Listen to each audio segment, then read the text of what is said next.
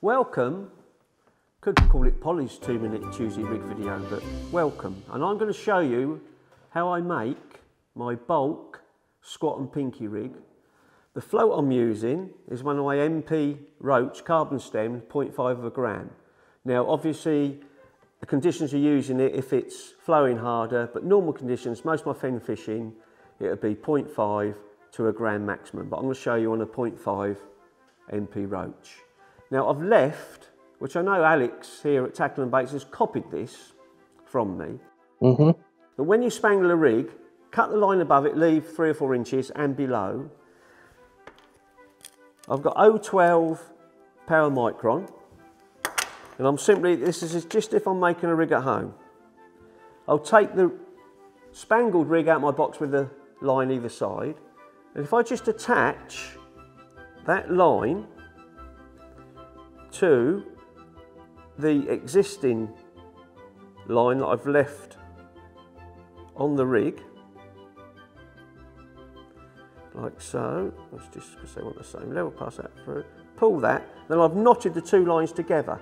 And then simply hold the bottom and I pull the float onto the new spool power micro I'm going to tie the new rig and I haven't had to take all the rubbers off, thread them back on the line, thread the float first, thread the rubbers on, it's all done. I just cut the end there, pull the float on a little bit more and now I'm going to do a loop. I won't put a hook, I don't put a hook on any of my rigs till I come to use them. And the loop that I'm tying at the end is a figure of eight loop. It's much stronger than a normal overhand loop. And I simply, before I pass the loop through the loop I'm pinched between my fingers, I turn it and twist it. Then I put the loop of line through the main line itself and it's a figure of eight I'm pulling in, I'll pull it up and that sort of folds round the line rather than cutting through it on an overhand loop. And that is much stronger than just a standard loop. I'll cut the line off neat to the knot, leaving about a mil. There I have it. What I would do then is if I'm on it three metres, that's probably two metres me because I'm small, but I'll just do it three times, the width of my arms. Most of my rigs, it's three times the width of my arms and that's done. Then this end, I'll do a double loop. So I'll quickly do a double loop on the end there. Pass it through, I'm doing my figure eight again. Then another loop, so I've done two loops.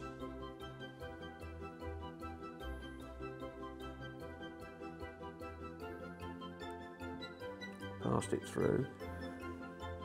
The little tag, just because I'm a little bit OCD, I'll cut and leave probably half inch long. But I always cut the top loop, the first loop.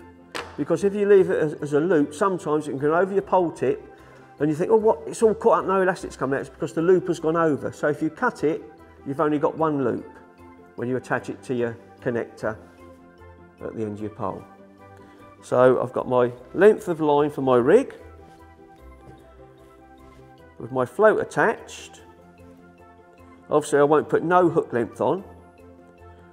And my bulk on most of the drains it's normally a four inch hook length. And then my first shot, which goes on the knot of the loop that I attach the hook to, is a number 11 stop.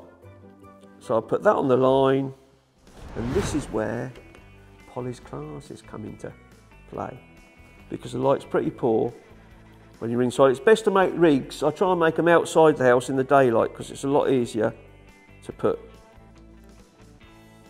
the Stotz on the line. And I use Stotz rather than shot because it gives a slower fall through the water.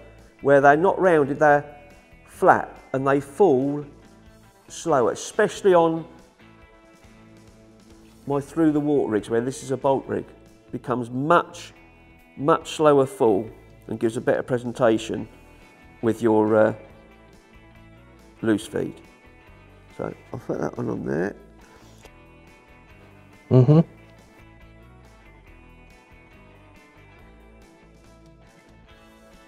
So I'll put on one number 11 stop on the knot just above the hook, another one three inches from there. And then one more, three inches from there, roughly in three inches, I've got a bulk of number 10s. There's six or seven number 10s that will weight the MP Roach half a gram. Now that's the rig, that's it done. I'll put that on a winder. So I'll show you in a minute, I'll wind it up. But then when I get to the venue, I'll attach the hook length on there.